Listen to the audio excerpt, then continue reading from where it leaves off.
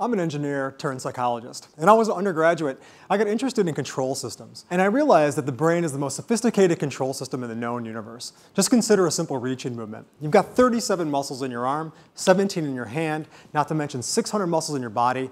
Your brain needs to learn to control that. It has to deal with the real physics, the real equations of motion, of how to move the limb.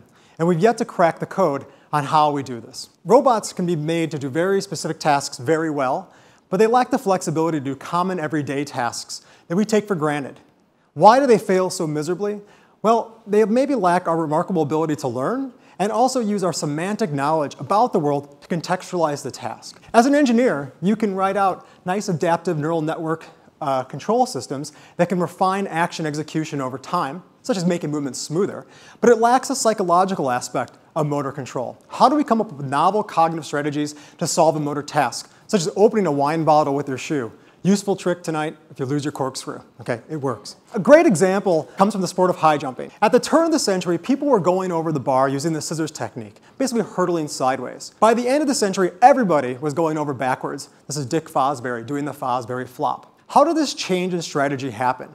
It really led to a breakthrough in how many feet someone can clear the bar. I went to look at the world records, and they actually look quite gradual. Look a nice little progression of heights that you could achieve. But if you actually look closer, you see that there's four different strategies that are used. Each time a new strategy was invented, in an arrow here, it gave way to a new wave of record breaking. Just consider the last two of this era, the parallel straddle and the Fosbury flop. As you can see, they're diametrically opposed to one another. With the parallel straddle, you're going over with your chest first. Okay? With the Fosbury flop, you're going over with your back first. It wouldn't be the gradual refinement of action execution, of practicing the parallel straddle, that would ever have given rise to the Fosbury flop. You need a whole new strategy. How does this come about? Well, the classic theory says that it starts off in a cognitive stage. You think about what the strategy is explicitly, and that then gives way to an associative learning process that you then slowly get better at. And much of research is focused on the latter phase. But all the action, 80% of your learning, is happening in this cognitive stage. How can we get at that?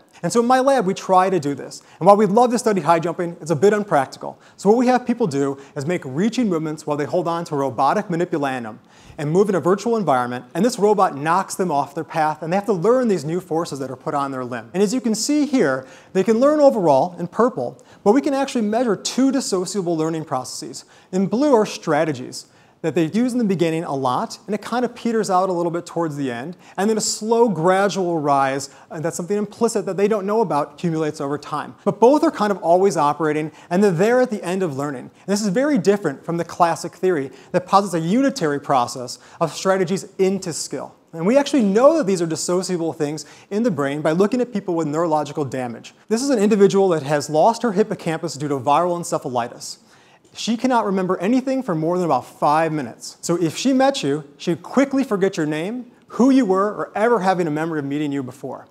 But she can learn new motor skills. She can learn something like drawing a figure while looking through a mirror and retain that across days.